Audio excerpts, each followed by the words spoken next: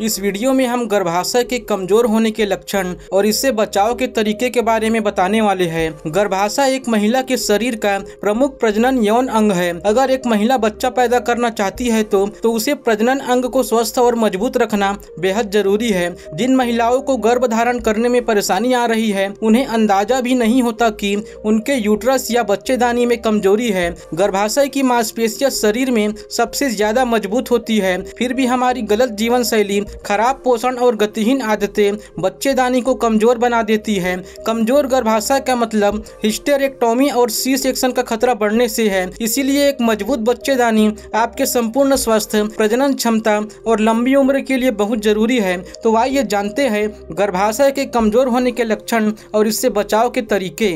गर्भाशय का मुख्य कार्य निषेचित डिम्ब का पोषण करना है। एक बार जब निषेचित डिम्ब को एंडोमेट्रियम में ट्रांसप्लांट कर दिया जाता है तो यह गर्भाशय की ब्लड वेसल्स से पोषण प्राप्त करता है और इसके बाद एक भ्रूण बनता है। इस दौरान कई चीज़ें आपके गर्भाशय के ठीक से काम नहीं करने का कारण बन सकती है, जैसे अनियमित मासिक धर्म, गर्भाशय फाइब्राइड प्रजनन अंगों की ताकत को बढ़ाने के लिए बच्चेदानी या गर्भाशय को मज़बूत रखने की बहुत ज़रूरत होती है।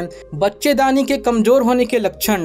अगर बच्चेदानी कमज़ोर होगी तो गर्भ नहीं ठहरेगा। बार बार मिस कैरेज हो जाएगा। कब्ज की समस्या रहेगी। अलग तरह की ब्लीडिंग और डिस्चार्ज होने लगेगा। यूरिन इन्फेक्शन होना या फिर यूरिन लीक होने जैसे लक्षण दिख सकते हैं। बच्चेदानी को मज़बूत बनाने के लिए अपने आहार में नट्स और सीड्स शामिल करें। इसमें कद्दू के बीज फ्लैक्स सीड और नट्स में जितने भी ड्राई फ्रूट्स हैं, उनका सेवन करना फ़ायदेमंद है। दरअसल बीजों में हेल्दी फैट होता है। जो बच्चेदानी की मांसपेशियों को मज़बूत करता है। हरी पत्तेदार सब्ज़ियाँ जो महिलाएँ गर्भधारण नहीं कर पा रही है, उन्हें बच्चेदानी को स्ट्रांग बनाने के लिए हरी पत्तेदार सब्ज़ियाँ खानी चाहिए। सब्जियों के सेवन से पेट का पीएच लेवल बैलेंस रहता है। इसके अलावा हरी सब्जियों में फोलेट बहुत अच्छी मात्रा में पाया जाता है, जो बच्चेदानी की कमज़ोरी को दूर करने के लिए बेहद ज़रूरी है। किन्हीं कारणों से महिला की बच्चेदानी में कमज़ोरी आ गई है तो उस महिला को अक्सर ताजे फल खाने की सलाह दी जाती है। अगर आप फलों का रस ले रहे हैं तो कोशिश करें कि